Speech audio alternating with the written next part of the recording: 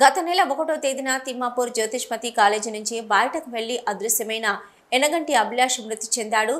ఇరవై ఏడు రోజుల తర్వాత తలలేని మొండం లభ్యం కాగా ఈరోజు విద్యార్థికి సంబంధించిన తల కూడా లభ్యమైంది. తలకు అక్కడే పోస్ట్ మార్టం నిర్వహించారు పోలీసులు.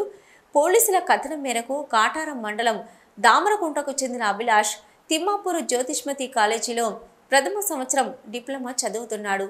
మార్చి ఒకటో తేదీన జ్యోతిష్మతి ఇంజనీరింగ్ కాలేజీ నుంచి అదృశ్యమైనట్లు యువకుడు తండ్రి యనగంటి శ్రీనివాసు ఈ నెల మూడవ తేదీన పోలీసులకు ఫిర్యాదు చేశారన్నారు.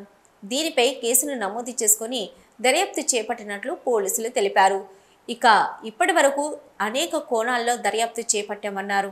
అయితే అలుగునూరుకు చెందిన ఓ అమ్మాయి చనిపోతానని డైల్ హండ్రెడ్కు ఫోన్ చేయగా ఫోన్ చేసిన లొకేషన్ ఆధారంగా తిమ్మాపూర్ సమీపంలో ఉన్న బావుల్లో పోలీసులు గాలిస్తున్నప్పుడు ఎన్జేపీ పాఠశాల సమీపంలోని ఒక వ్యవసాయ బావిలో తలలేని మృతదేహం లభ్యమైందని ఈ మృతదేహాన్ని తప్పిపోయిన ఎనిగంట అభిలాషగా గుర్తించామన్నారు. అయితే విద్యార్థి తల కోసం బావిలో నీరు ఖాళీ చేయించి గాలించగా ఈరోజు తల కూడా లభ్యమైందని చెప్పారు.